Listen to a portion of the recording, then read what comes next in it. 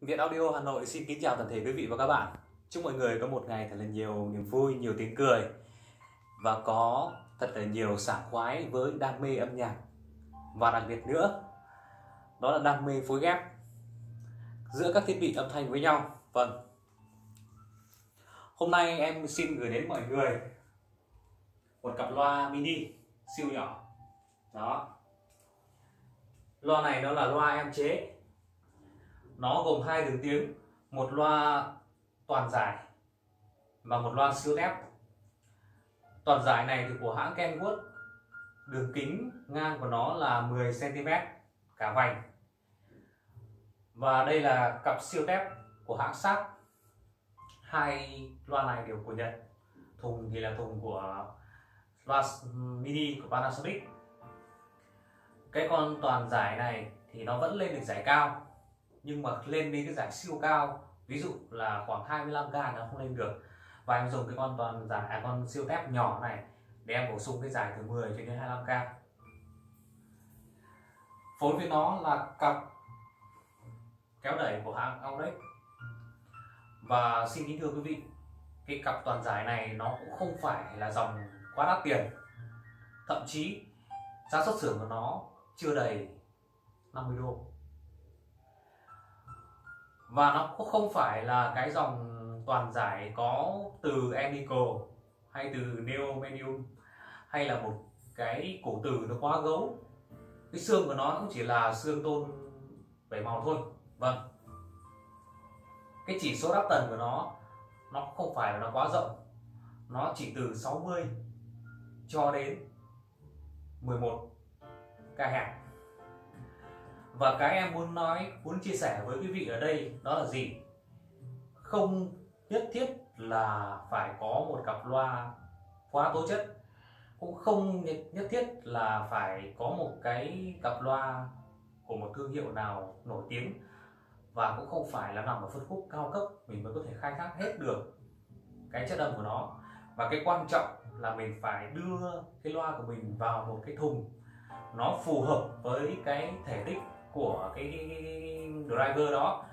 Và cái tần số cộng hưởng giữa cái driver với cái thùng nó phải tương thích nó phải hiệu quả nó phải bổ trợ được cho nhau. Thì nó sẽ đem lại được một cái màu âm và một cái chất âm cũng như là cái độ động và cái chỉ số đắp tần nó khác hoàn toàn. Và bây giờ em mở một đoạn nhạc testing nó gọi là hashtag của các cái loa hai em. Cho quý vị nghe nhé.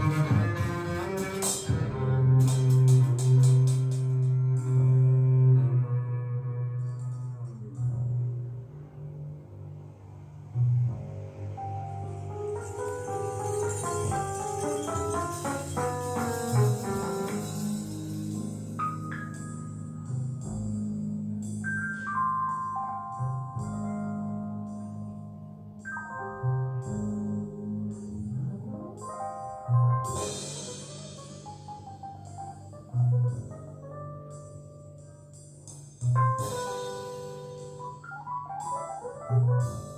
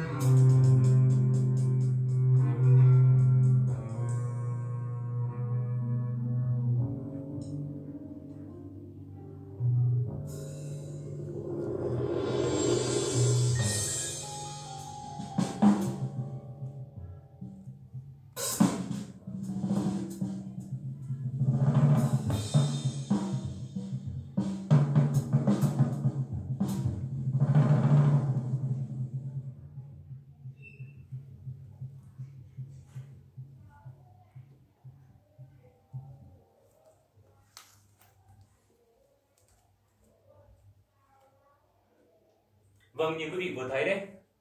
Không cứ phải là một driver quá có tố chất, không cứ gì đường kính loa phải quá lớn, không cứ gì cái thùng nó phải quá to, nhưng quan trọng nhất, đó là nó tương thích với nhau. Vâng sự tương thích nó là cái yếu tố quan trọng nhất giữa tất cả các thiết bị với nhau. Nguồn phát tương thích với âm ly âm ly tương thích với loa. Loa tương thích với phòng.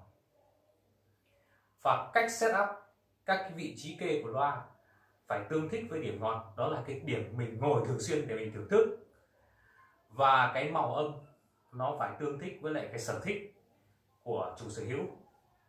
Cái dòng nhạc nó phải tương thích với lại cái mục tiêu mà nhà sản xuất họ đặt ra trên cái cặp loa đó.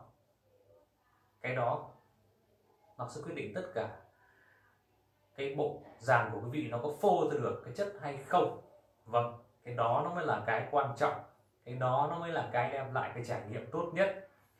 Chứ không phải đồ đắt tiền, set up ở một cái phòng quá cầu kỳ mà đã là hay đâu. Cũng giống như bản thân chúng ta. Một người đàn ông tốt, một người đàn bà tốt hai người đều tốt, nhưng khi kết hợp với nhau, chung sống với nhau, đối xử với nhau không tốt, ăn ở với nhau không tốt, nuôi dạy những đứa con không tốt. Và cái cách quản lý đồng tiền cũng như là cái thái độ, cái tình cảm, cách đối xử dành cho hai bên không tốt, nội ngoại không tốt, con gái không tốt thì mọi thứ đều vứt đi hết. Loa xịn âm nhị xịn dây xịn cd xịn phòng xịn nhưng kết hợp không ăn ý với nhau thì cũng vứt hết. Vâng cái quan điểm của em, nó là khai thác tốt nhất thiết bị trong tầm giá. Chứ không phải là cái buông tiền ra mua đồ xịn. Tất nhiên đồ xịn nó có cái hay của nó, nhưng nó có phù hợp hay không đó mới là cái điều quan trọng.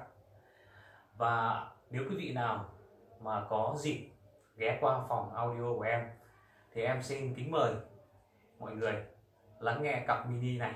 Siêu mini luôn và chắc là em không bán đâu vì giá trị nó cũng không đáng bao nhiêu cả. Em sẽ không thương mại, và em sẽ để để đây nó như một minh chứng, để mời quý vị có thể lắng nghe, cảm nhận và trải nghiệm cái chất âm của một cặp loa gióng không mấy tiền tuổi, không mấy đắt tiền. Vâng cảm ơn quý vị đã chú ý theo dõi video. Hẹn gặp lại trong những video tiếp theo. Chân thành cảm ơn ạ.